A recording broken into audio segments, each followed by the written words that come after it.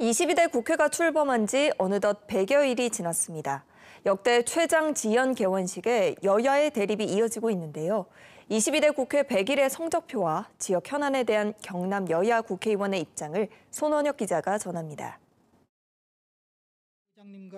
최장 지연 개원식에 사상 첫 대통령 불참, 22대 국회가 출범했지만 꽉 막힌 전국은 여전합니다.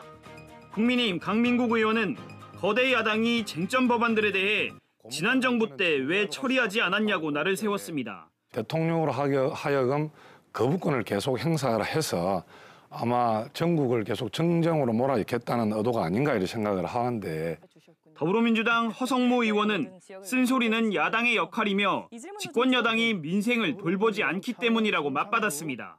서민들의 삶을 제대로 살피지 못하고는 그 탓을 야당에게 돌리는 것은 집권 세력으로서의 자격이 부족하다.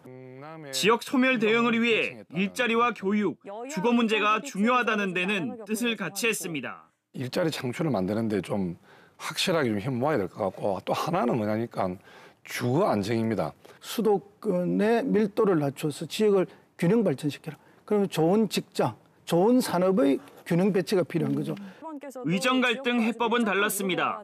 리더십 부족을 지적하며 원점 재검토를 제시한 허성무 의원. 대통령께서 한 발 물러서셔서 원점에서 다시 한번 생각해보는 그런 음, 에, 결단을 내리지 않으면 이 해법은 없다. 강민국 의원은 정쟁 대신 여야 정의 힘을 모으자고 말했습니다. 지역 인재를 양성한다는 큰 차원에서 좀 이번에 여야정 그리고 또 의협에서 좀 대승적인 차원에서 좀 의료계획이 원만하게 우주항공 산업 발전과 공공기관 2차 이전, 산업단지 고도화 등 경남 현안 대응에는 여야가 힘을 모을 것이라고 답했습니다. KBS 뉴스 손원혁입니다.